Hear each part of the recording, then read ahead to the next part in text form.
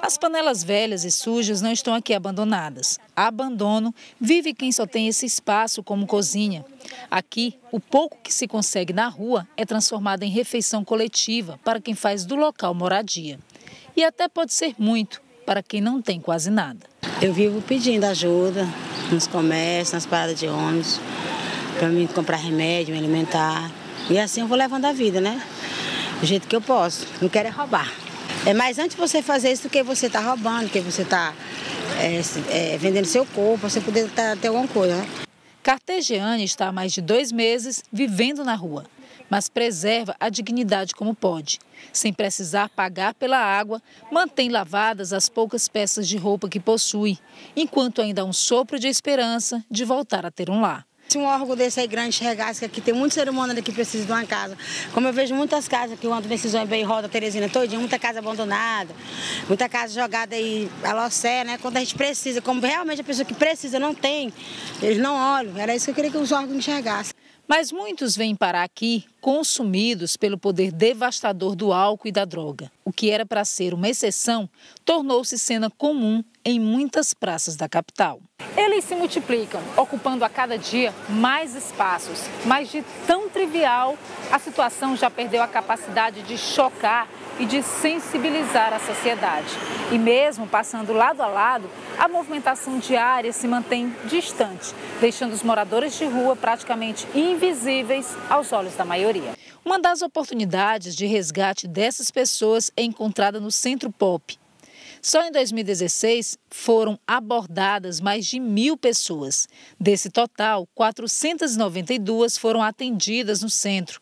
E só no mês de janeiro deste ano já foram atendidas 144 pessoas. Essa funcionária explica que o trabalho é realizado em parceria com várias instituições e vai desde a oferta de alimentação ao encaminhamento para tratamento em centros de dependentes químicos. Desde a escuta qualificada para identificar a história da pessoa, né, por que, que ela está naquela situação de rua, é, os atendimentos individuais, atendimentos em grupos, é, para observar a demanda que é apresentada e quais as necessidades que aquela pessoa apresenta, por que, que ela está naquela situação de rua. A Casa do Caminho também é mantida pelas Cênticas. Aqui, homens e mulheres podem dormir e se alimentar, mas o albergue só presta atendimento durante todo o dia em casos especiais, como idosos. Outra limitação é o número de vagas, apenas 40, sendo 28 para homens e o restante para mulheres. Em todo o Piauí, só há dois centros POP. O outro fica no município de Parnaíba.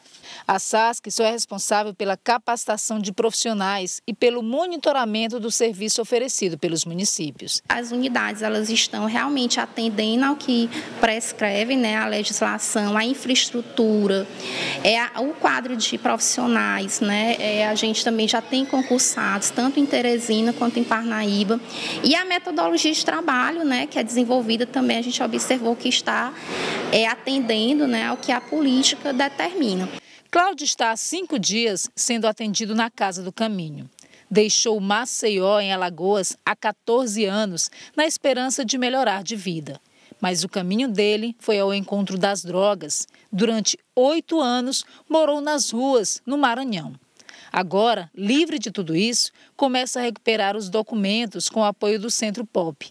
E se emociona ao falar da dificuldade para realizar o único sonho neste momento.